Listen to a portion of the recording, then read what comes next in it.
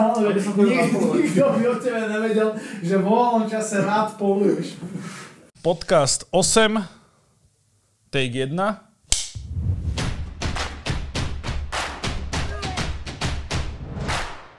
Vítajte pri 8. epizóde našich backstageových podcastov. Peter, už si sa dokochal svojim vlastným tričkom, ktorý si dostal od Luisa? úžasné tričko. A to tričko prezrádza vlastne, že o čom je táto epizóda. Všetko. Všetko. A takto rozprávať, dobre, aby si bol 3 km... Všetko prezrádza toto tričko. Tričko je perfektné. Nerozprávaj takto! Dobre, Normálne rozprávať človek, nejak opica. Táto epizóda sa odohrávala v takej menšej dedinke, ktorá sa nazýva Ďoro. ja by som povedal, že Ďoro je mestečko. Dedinky sú iné. To bolo Nuevo Poblado? Áno. Nuevo Poblado? Áno, Bola Nuevo Poblado, tá áno.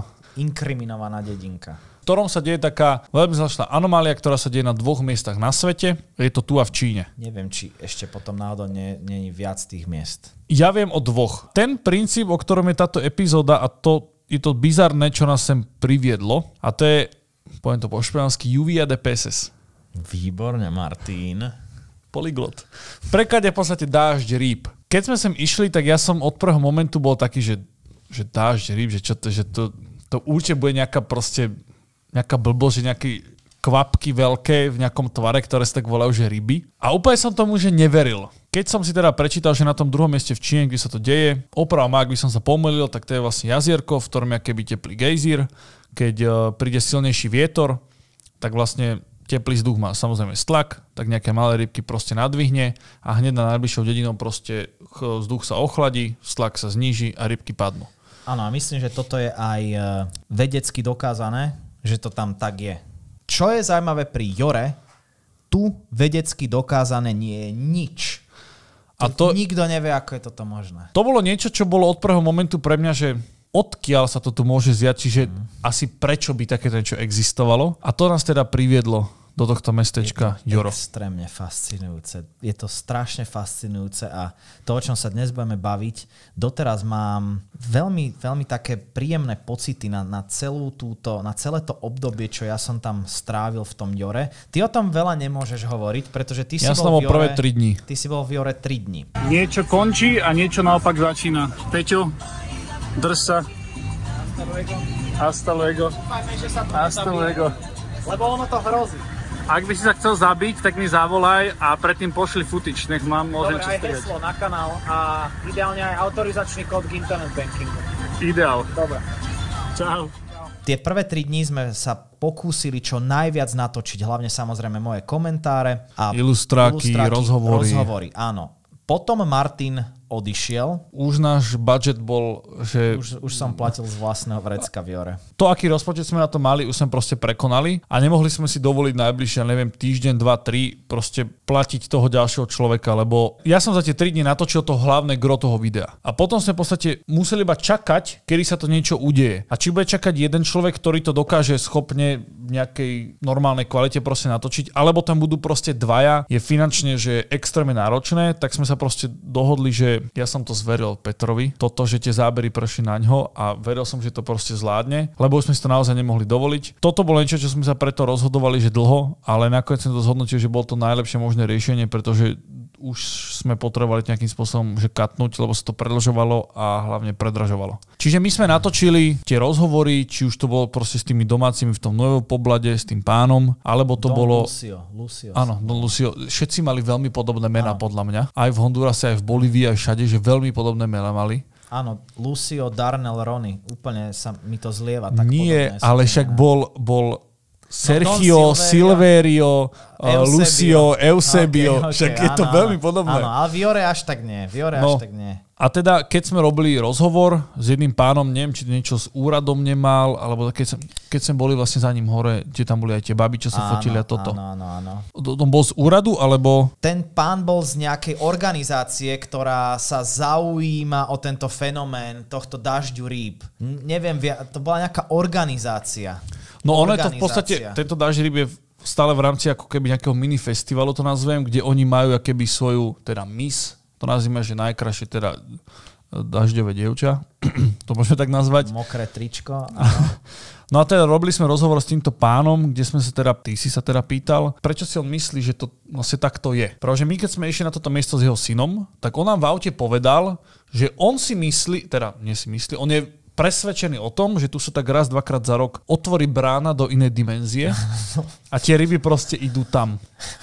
Toto je zaujímavé, že keď prijete do Jora, samozrejme tam to, to mestečko žije týmto dažďom rýb, tak každý tam má nejaké iné vysvetlenie. Jeden si myslí, že je to dar od Boha, ďalší si myslí, že je to nejaký, že sa to dá určite vedecky nejak dokázať, ďalší si myslí, že sa otvárajú dimenzie. Je to no. strašne fascinujúce to počúvať, všetky tieto názory, ako tým vyslovene každý človek žije a teší sa na ten koniec mája alebo začiatok júna, keď sa toto každoročne deje. Každý o tom vie hodiny rozprávať, čo na začiatku bolo úžasné. Čo som ja tak vnímal, že najčastejšie tí ľudia odpovedali, že je to tam práve kvôli akože teda Bohu, lebo Áno. že z historického hľadiska pred niekoľko storočiami tam vlastne prišiel kňaz, ktorý teda povedal, že v Ďore, že vy ste teda naozaj dobrí ľudia. Ak budete hladní, proste Boh sa o vás postará. A teda aj z biblického hľadiska proste ryba je teda ten symbol. To, kto iný ako ty môžeš toto vedieť a povedať? Ďakujeme. Takže vlastne, keď budú títo ľudia hladní, Boh im zošle jedlo v podobe teda rýb, ktoré oni vždycky teraz zbierajú a robia z toho rôzne pokrmy, lebo je to teda pre nich dar. Presne tak. My sme vedeli, že toto sa deje buď koncom mája, alebo začiatkom júna približne. Takže sme tam prišli koncom mája. Ešte sa to nestalo, lebo niekedy sa to deje aj dva, dokonca raz aj trikrát za rok sa to stalo, v septembri minulý rok, čo ľudia vysvetľujú, že to je kvôli globálnemu oteplovaniu tam tí miestni. Zaujímavé, zaujímavý postoj. Majú na všetko argument, áno, to je super. Áno. Prišli sme tam, a skvelé v Jore bolo, že sme tam mali kontakt. Na základe Luisa, nášho kamaráta, sme tam mali kontakt, ktorý sa volal Darnell. Darnell bol asi v našom veku, tak možno 30, možno 35 max ročný chlapík, veľmi príjemný a povedal, že čokoľvek budeme potrebovať, že on sa o to postará, že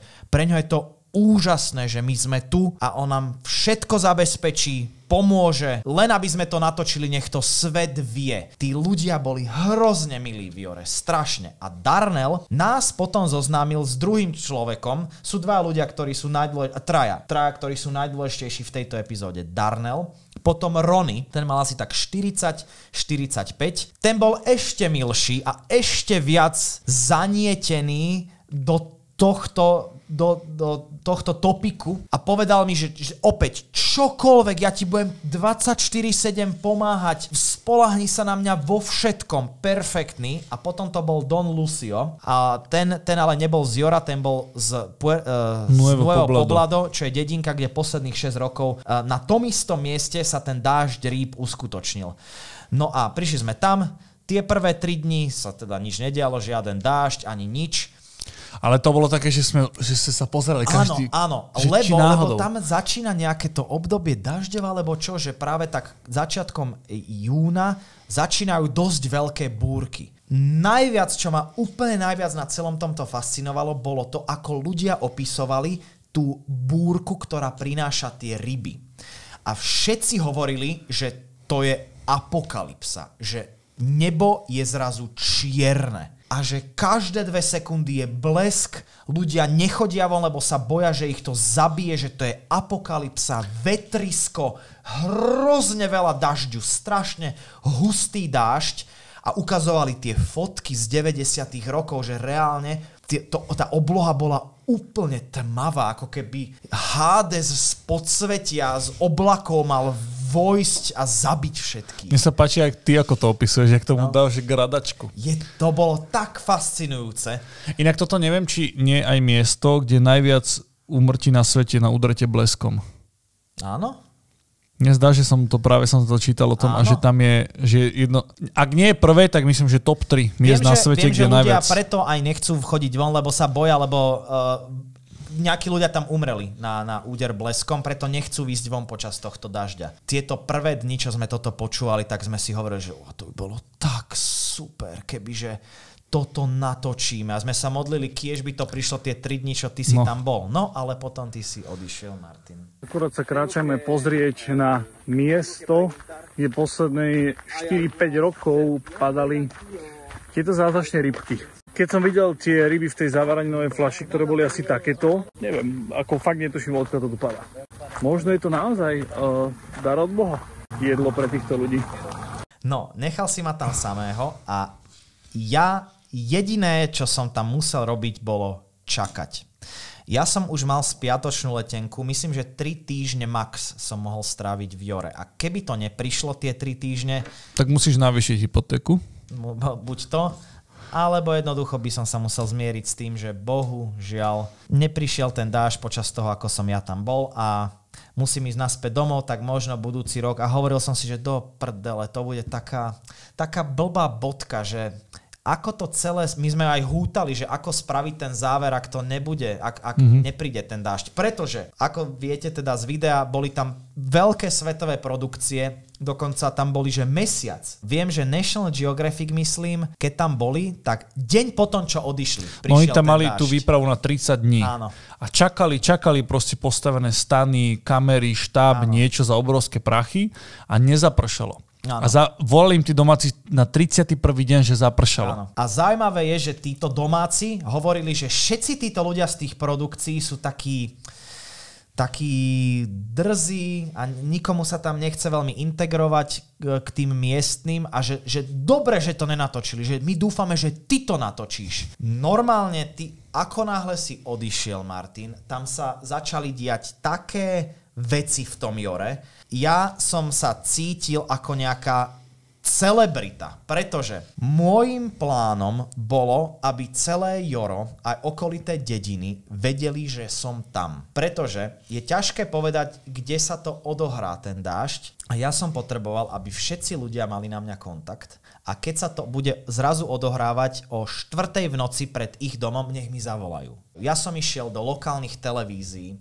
ja som išiel do rádií, všetkým, o všetkom som tam hovoril a samozrejme, keď si stále v lokálnych televíziách a v rádiách, tak zrazu sa ľudia o tebe dozvedia, začnú sa o tebe rozprávať a teraz ja, keď som išiel na nákup, sa tam so mnou fotilo, že 30 ľudí. Ja som mal ten supermarketík asi 3 minúty od No hotela. hej, to bolo blízko. Neustále sa tam so mnou fotili, podávali mi ruky, pozývali ma všade a toto si všimol Darnell aj Rony, tí dvaja chalani, ktorí mi pomáhali. Oni stále chceli byť so mnou, neviem, neviem prečo, stále chceli byť so mnou a neustále ma pozývali na nejaké akcie, že k sesternici, k tete, k ujovi, k sesternici z druhého kolena, k bratovi, ideme tam, ideme do jednej školy. Ja som chodil po školách ako nejaký politik, ma tam predstavovali, všetci sa tam so mnou fotili, ja som bol na honduraských stránkach facebookových, instagramových, v médiách. Noviny o mne písali, že to bolo že šialenstvo, čo tam sa dialo. Tieto tieto takmer 3 týždne, čo som bol v Jore. A ja som tam už chcel strihať. Ja som, mm-hmm. môj plán bol, že idem strihať prvú epizódu Expedition Unexpected. Chcel som byť, a som si hovoril, že mám skoro 3 týždne, tak budem od rána do večera strihať a len čakať na ten dážď. A fitko. Ja a fi- to bolo, že najhoršie fitko môjho života, ale bolo tam aspoň fitko, ok, to je jedno, nebudeme sa baviť o fitku. Ja som tam nenastrihal ani 5 minút, pretože ja som od rána do večera chodil na nejaké akcie, stretával nových ľudí. Už to potom bolo v takom štádiu, že prišiel za mnou človek na ulici a že čau, však eh, my sme sa bavili predčerom tam v tej škole. A ja som vôbec netušil, kto to je. To, ja som, to, to bolo strašné. Zadarmo som tam jedal, jedával v reštauráciách. Tie reštaurácie si ma volali na to, aby mi dali jedlo a potom iba ma odfotili a dali to na svoj Facebook alebo Že- že si u nich, hej? Že som bol u nich a že mi chutilo. Niekedy som musel povedať, že mi veľmi chutilo. Že jedna veta, že super, perfektná mondongo eh, polievka, ďakujem veľmi pekne, odporúčam túto reštauráciu. Zadarmo som tam žral všade. Vš- a už to začalo byť moc. Už ma to prestávalo baviť, lebo všetky otázky boli také isté. Furt to isté, furt to isté. Čo si odkiaľ si, čo tu robíš? Áno, to isté, furt stále to isté a ja som potreboval aj strihať a nestíhalo sa. No, čiže toto bola moja skúsenosť e, v Jore. Zrazu po nejakých, ja neviem, desiatich dňoch alebo koľko, zrazu začali prichádzať búročky. A už som si hovoril, že možno sa to blíži a dokonca aj Darnell, aj Ronnie mi hovorili, že no, že to môže byť dnes. Aj Don Lucio z Nuevo Poblado mi písal stále, že buď dnes v noci pripravený, možno, že ti zavolám, možno, že ti niekto zavolá a reálne mi, keď prišla prvá veľká búrka, tak mne volalo asi 15 ľudí, že toto je ono. Ešte treba povedať, že ty si vlastne musel rentnúť auto. Áno, toto je, toto je extrémna vec. Aby si vedel Áno, vlastne tam áno. hneď čo najrychlejšie dojsť. Tak, pretože, pretože posledných 6 rokov sa ten dážď uskutočnil v dedinke Nuevo Poblado, čo bolo asi 10 minút autom od Jora. Mm-hmm.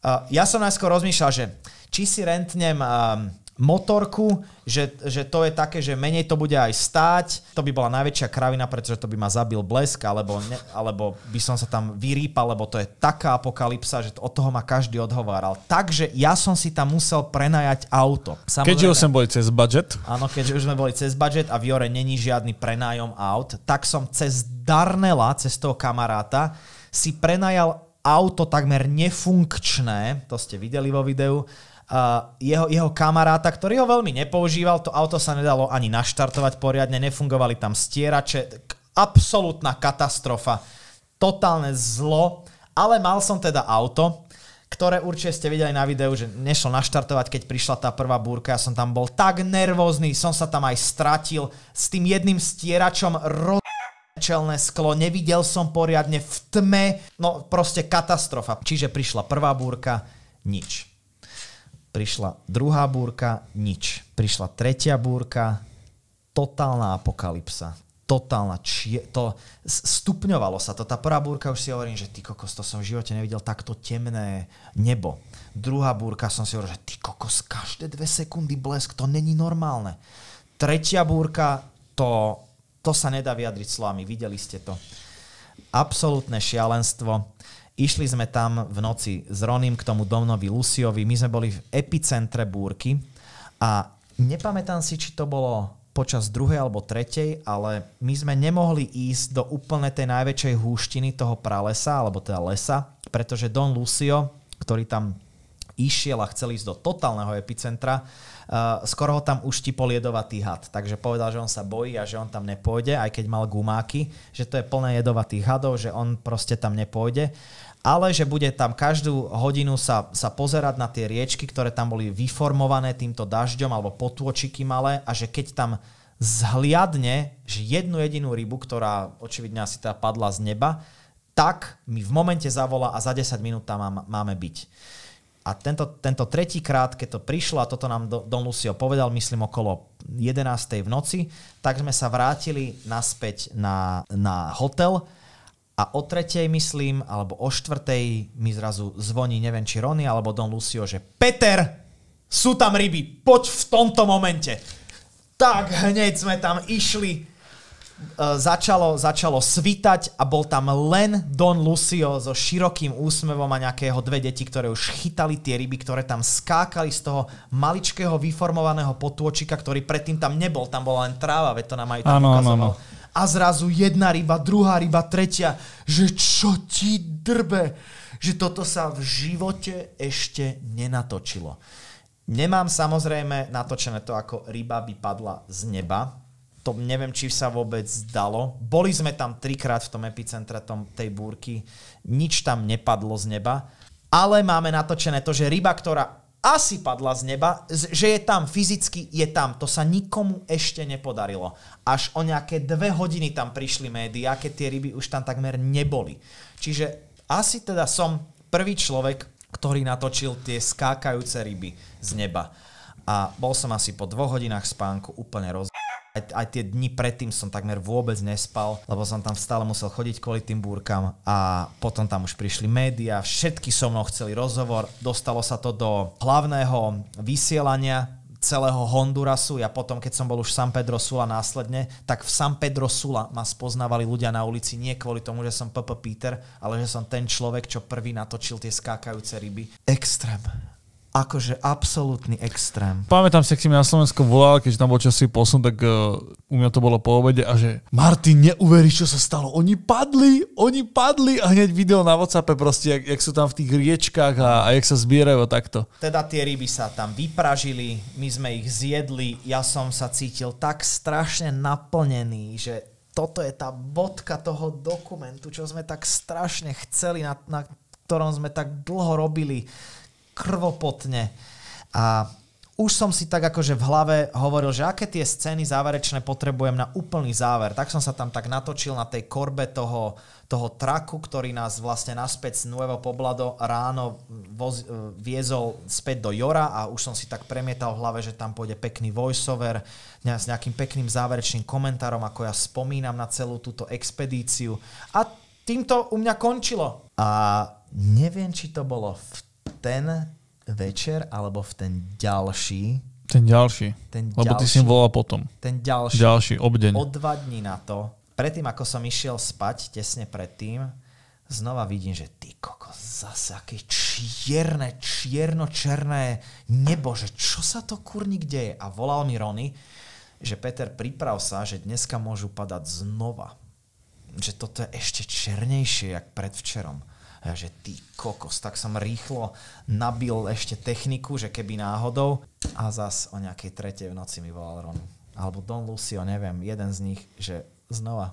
Je to tu znova, poď. Tak znova úplne roz s Ronim v tom najväčšom daždi, blesky, neviem čo. On sa bál miestny, že ty kokos, že to keby ja by som v živote nevyšiel z tohto auta. Prišli sme tam a znova tam boli tie malé potôčiky vyformované, ale už tých rýb bolo menej. Ale čo bolo zaujímavé, tak občas tam bol, že sum, sumec, taký pomerne väčší, nie veľký sumec, ale taký, že sumec, že, že nové typy rýb a dokonca krab. A opäť o dve hodiny na to všetky médiá, všetky tí ľudia, všetci tí ľudia z tých, z tých organizácií Juvia de Peses. Ale tentokrát tých rýb nebolo tak veľa a išli sme pozerať aj obďaleč trošku viac. Tentokrát už sa Don, Don uh, Lucio nebal asi uh, tých hadov. tých hadov. Už sme ich nenašli tak veľa, ale stále v priebehu dvoch dní dvakrát padali ryby. To bol, ten, to bol ten úplný záver s krabom a so sumcami, že znova to tam padalo, zase sme tam boli prví, zase sme to tam žrali, ale už som bol tak strašne unavený z toho celého, že, že už som si povedal, že OK, toto asi rozdelíme na dve epizódy, asi to takto malo byť, je to perfektné, že dvakrát spadli. What a way to finish the documentary. To je neuveriteľné. To je absolútne neuveriteľné. Nemám slov doteraz, je to, je to to najviac, čo sa nám mohlo podariť. Tento fenomén. Aj by som v takto veľmi pozitívne naladenej atmosfére uh, chcel vám veľmi teda poďakovať, že ste s nami prežili toto dobrodružstvo. Uh, bol to naozaj zážitok podľa aj pre nás. A je to niečo, na čo do smrti nezabudnem. A extrémne si myslím, že to posunulo nás vpred, mm-hmm. či už čo týka proste tvorby alebo aj priateľstva. Takže... Bola často ponorka. Áno, bola, bola ale ponorka. o to vieme, že čo môže prísť do budúcna. Áno. Dovolím si skoro mi tvrdiť, že sa môžu tešiť aj diváci, že mm. toto bol len začiatok toto nejakej začiatok. epizódy našich životov, mm. ktoré sme si zalúbili a ktoré chceme rozvíjať ďalej. Že nekončíme takýmto niečím, ale práve naopak začíname úplne novú etapu. No a hlavne končia epizódy na YouTube, ale my teraz ideme pracovať na dokumente z tohto, na celovečernom dokumente, kde budú tie najväčšie highlighty z týchto epizód a Chceli by sme, aby to skončilo niekde mimo YouTube, ideálne na nejakej streamovacej platforme. Nechceme za to nejaké veľké peniaze. Chceme, aby o tom nejak začali ľudia, ktorí sú možno trošku náročnejší, diváci, eh, aby o tom aby sa to nejak dostalo do ich povedomia, možno svetovo ideálne. Praviť si možno taký nejaký preklenovací mostík eh, k season 2, ak pán Boh dá, a season 2 by, by sme už chceli s normálnym budžetom, lebo my sme išli do neznáma. Toto bolo prvýkrát aj pre teba, aj pre mňa niečo takto obrovské. Spravilo sa tam mnoho chýb, hlavne čo sa týka budžetu. Aj technických vieme, chýb, vieme, aj proste, vieme presne, že... čoho sa vyvarovať v, a vieme presne, že, že potrebujeme viac ľudí na toto. Už sa nám aj formuje možno nejaký tím, ak by teda bola season 2, druhá séria, niečo takéhoto, ale to už by nešlo na YouTube, určite Určite. Toto, bolo, toto nás aj naučilo uh, to, že možno bola chyba dávať to na YouTube. Na druhej strane, nebyť YouTube, tak by sa nenašli tí sponzory a nemali by sme nič. A hlavne je podľa mňa fajn, že sme sa toto naučili Áno. A mali sme proste medzikrok, že nehúpli sme hneď proste do obrovského rozboreného oceánu, ale máme presne takéto medzištádium, že vieme už čo nás čaká, vieme akým spôsobom to máme spraviť a myslím si, že tá ďalšia season bude hodná toho, že to bude vyslovené na tej streamovacej platforme. A ak by teraz niekto prišiel, že chceli by sme, že druhú sériu, máte, uh, máte nejaké idei, že ako to spraviť, v tomto momente mám, že asi 30 vecí celosvetovo, ktoré sú podobného štýlu, ako boli Tieto v Latinskej Amerike. festivaly a, a kultúrne veci a miesta a podivnosti. V tomto momente by som ich mal asi 30, čiže hneď by sme vedeli točiť ďalšiu sériu. A dokonca by sme to vedeli rozdeliť aj na kontinenty. Nemuselo by to byť celosvetové, ale mohla by to byť Expedition Expected Asia, Afrika alebo Latin America 2. Takže my sme pripravení. Takže ďakujem ešte raz veľmi pekne, že ste s nami boli a pevne verím, že sa vidíme opäť niekedy na budúce a verím, že nie na tejto platforme. Čaute. Čaute. Ďakujeme.